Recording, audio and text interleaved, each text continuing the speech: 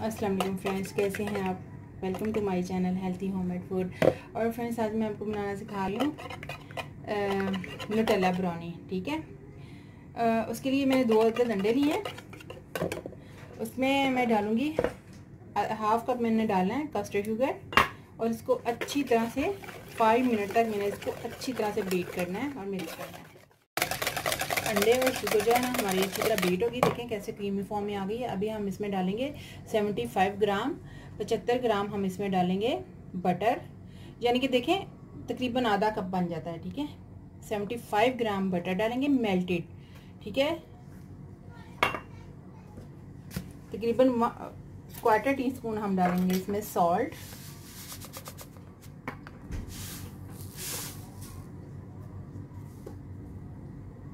Quarter tea spoon हम इसमें salt डालेंगे। वन टीस्पून हमें डालेंगे इसमें vanilla essence one teaspoon okay ये देखें। One teaspoon vanilla essence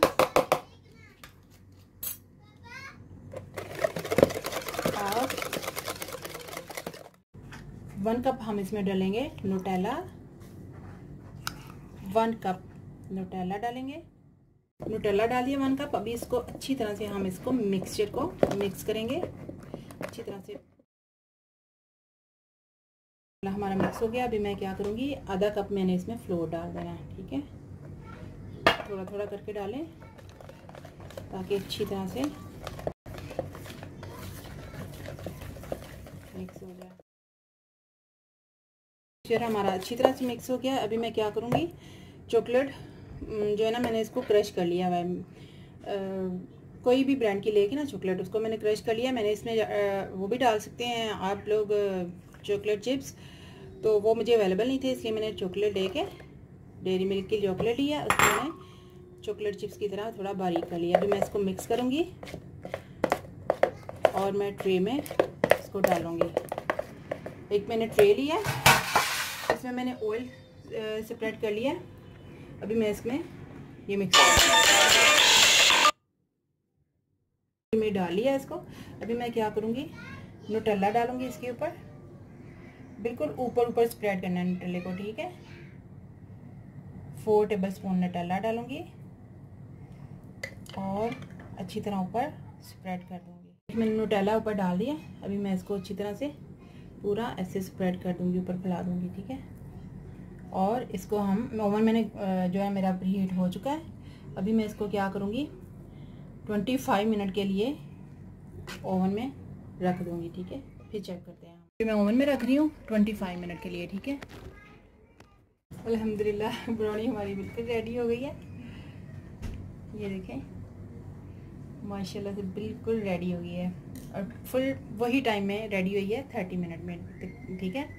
twenty five से थर्टी मिनट तक। माशाल्लाह से अभी मैं क्या करती हूँ, इसको कट करके मैं डिश आउट करके दिखाती हूँ।